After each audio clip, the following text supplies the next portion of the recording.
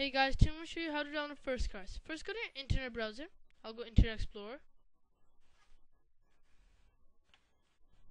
Now go to Google and type in First Class. SD36. Press enter. Press the first one. Home. Download. I have Windows, so I'll press Windows. If you have Mac, then you press Mac. I have Windows. Okay.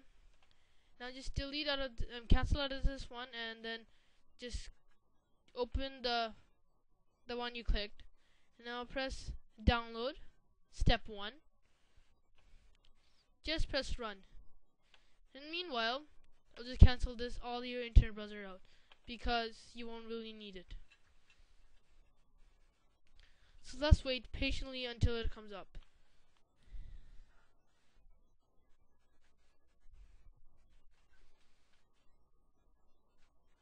If you have a user control account control pops up, just press yes.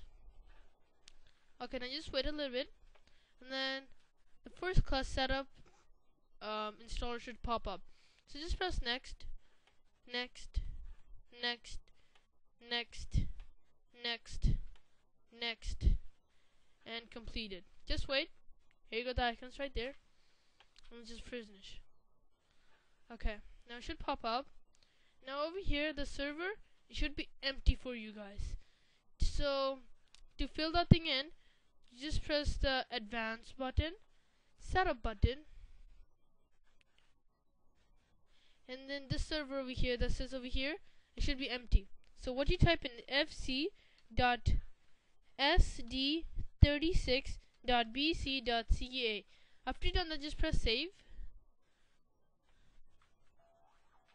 And then just type in your username and password. And if you don't have a username, you should go to contact your school and then find out what's your username and your password.